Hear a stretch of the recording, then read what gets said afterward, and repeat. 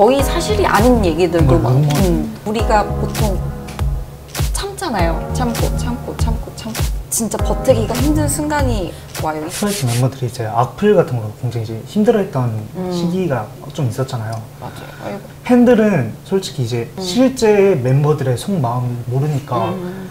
정말 걱정이 많이 되거든요. 음, 이제 뭐 이거는 저뿐만이 아니고 많은 여자 연예인 분들이 이제 뭐 특히 걸그룹 네. 그런 멤버분들이 진짜 많이 힘들어 하셔서 이제 보면은 거의 사실이 아닌 얘기들도 막. 음, 정말 싫어하는 사람이 진짜 그냥 소설 써서 다는 그런 경우들이 진짜 많은데 진짜 버티기가 힘든 순간이 와요. 이게 한 번 본다고 이게 화가 이렇게 나는 게 아니고 우리가 보통 참잖아요.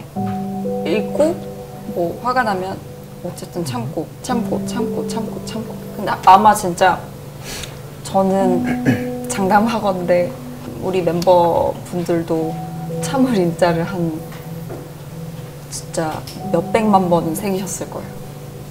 그- 그렇게 참고 참고 참아서 터진 게 우리 원스분들이 보면 마음이 아파하실 일들일 거예요. 만약에 막 나도 내가 좋아하는 사람이 그런 막 안 좋은 댓글로 힘들어하는 거 보면 너무 마음이 아플 것 같아요.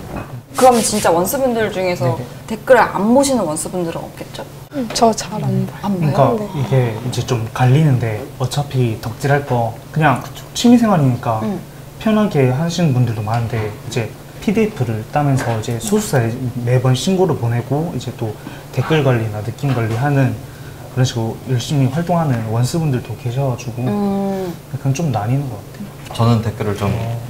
보는데 어느 날은 갑자기 너무 화가 나서 댓글로 한 번 싸운 적이 있었거든요.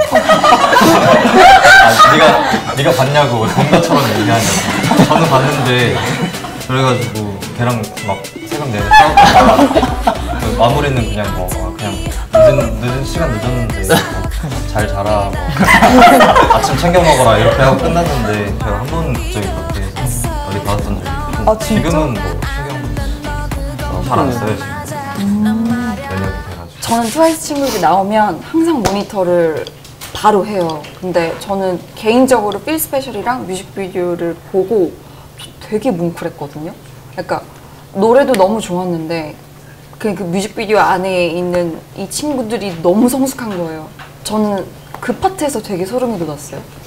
지효가 혼자 나오면서 세상이 아무리 날 주저앉혀도 아, 갑자기 또막 뭐, 어느 어느 부분인지 알죠? 네네. 그때 저는 되게 소름이 돋았거든요. 너무 많은 위로가 됐을 것 같아요. 우리 친구들한테도 원스한테도. 여러분 주변에 알고 계신 찐이 계시거나 아니면 저희가 체험했으면 하는 찐 분야가 있다면 지금 바로 유플리로 연락 주세요. 080